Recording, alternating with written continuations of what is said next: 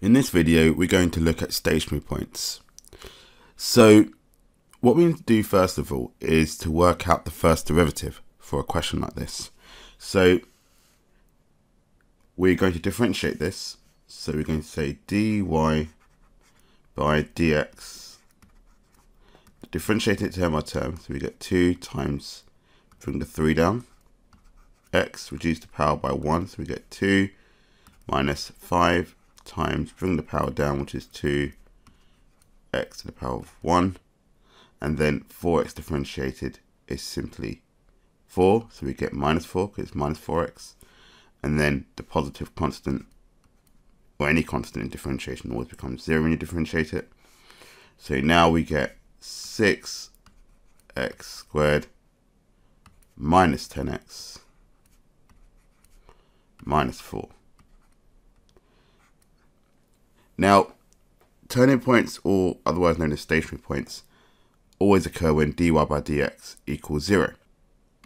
So now that we set dy by dx equals to 0, we can then say 6x squared minus 10x minus 4 equals to 0. And we can use our calculator to solve that. So we're going to then press the menu button. Alpha minus, it's a polynomial, it's a quadratic, so we choose option 2. Type in the coefficients, so 6, minus 10, and minus 4. So that will give me 2 and minus a third. So we can say x equals 2 and x equals minus a third. But because we want the coordinates of C, we need to also work out the y coordinates. So we're going to substitute y in into the y equation. So it's 2 times 2 cubed minus 5 times 2 squared minus 4 times 2 plus 2. So get a calculator out, type it straight in. So 2 bracket 2 cubed minus 5 times 2 squared minus 4 times 2 plus 2 and that gives you minus 10.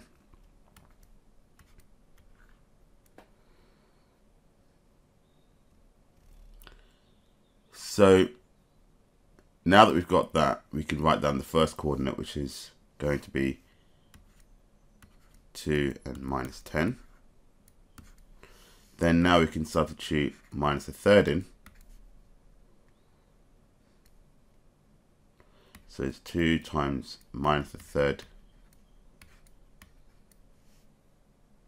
cubed minus 5 times minus a third squared minus 4 times minus a third. And then we put plus 2. And then we can just go back to our calculation here and just replace everything with minus a third.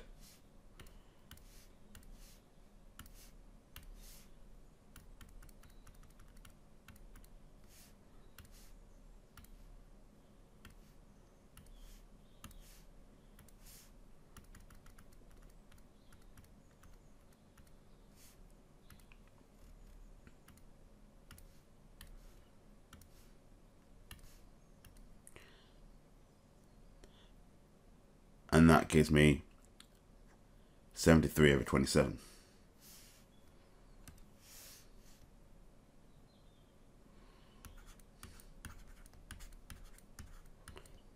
So I get a y coordinate of 73 over 27. Let's say my final coordinate here would be minus a third and 73 over 20 7.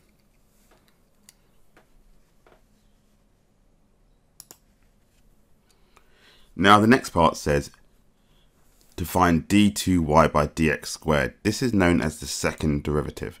So what we do, we take the first derivative dy by dx and differentiate it again. So now we get d2y over dx squared. That's going to be equal to, keep the 6 as it is, bring the 2 down, so we get x minus 10x differentiated is simply minus 10. Minus 4 goes to 0. So we get 12x minus 10. That's the second derivative. Then part D says, hence or otherwise determine the nature of the turning points of C. There are some basic rules that we need to do in order to calculate the nature of these maximum or minimum points or stationary points as they're called. So what we do is we set dy by dx equals 0 and solve for x.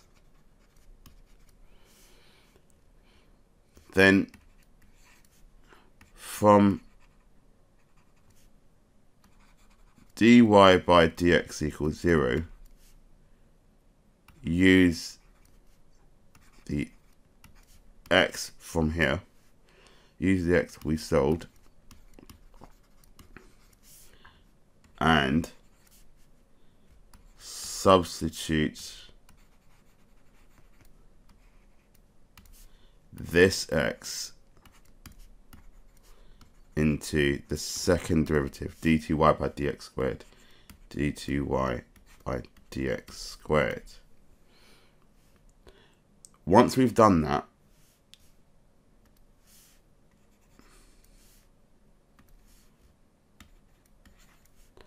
once you've done that, once you've taken x from dy by dx equals 0 and substituted it into d2y by dx squared, then what we'd say is the following. If d2y by dx squared is negative, we say therefore we have a maximum. If d2y by dx squared is positive, therefore we have a minimum.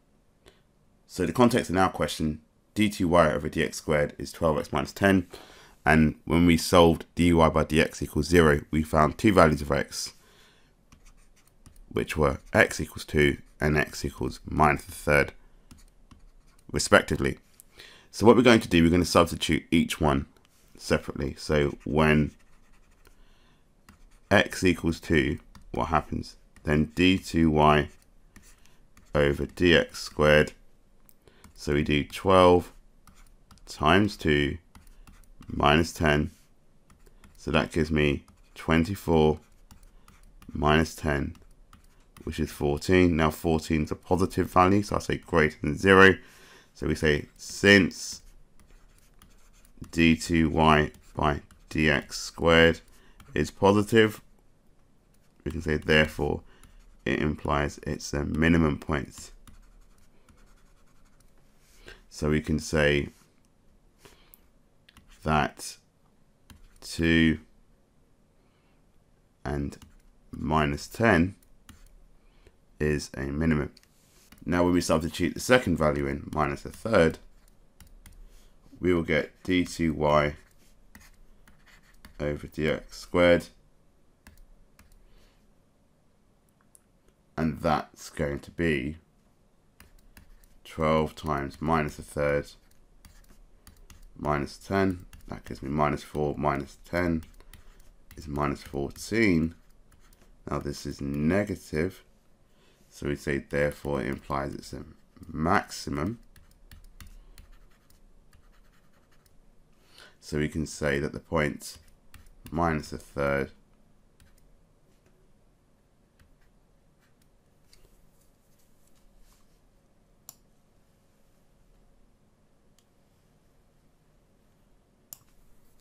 So we can now say that the point 73